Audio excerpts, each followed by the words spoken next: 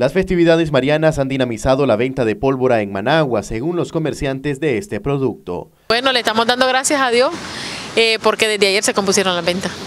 ¿Cómo ha sido el dinamismo? ¿Qué es lo que busca la ciudadanía cuando viene? Bueno, como es la Purísima, están buscando las cargas cerradas y la pólvora china y los cohetes. Me estaba diciendo que las ventas incluso están superando las del año pasado. Uh, sí, bastante, bastante, bastante. Eh, se compuso bastante este año la venta. ¿A qué se debe? ¿Qué cree usted que se debe? Mucho fervor. Bastante religiosidad de la gente. Claro, así es. Ahora, ¿hay alguna prohibición en cuanto a la venta de productos?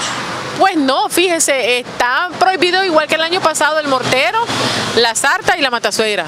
De ahí la gente puede tirar todo lo que quiera. Hay tantas cosas que tirar. Cada uno de los tramos cumplen con los requisitos de seguridad para la prevención de cualquier incidente que lamentar, explicaron los comerciantes. Estamos ofreciendo todo lo que es para la Purísima, los toros encuetados, los cohetes, las cargas cerradas, las albertinas que están muy buenas. Estas suenan mucho, se venden bastante y que vengan pues, que compren. ¿Cómo están los precios?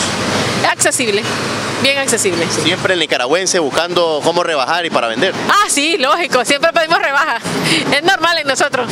Ahora, ¿han tenido supervisión de los bomberos y de la policía para vender esta pólvora? Sí, siempre, es lo mismo de siempre, normal. La, la, la comisión pasa, pero es normal, es un requisito y eso es bueno. Saber que nos están supervisando es bueno. Ahora, después del 7 de diciembre todavía falta el 24 y el 31, ¿qué expectativas tienen ustedes? Las mejores esperamos y con los años viejos también. Marcos Medina, Noticias 12.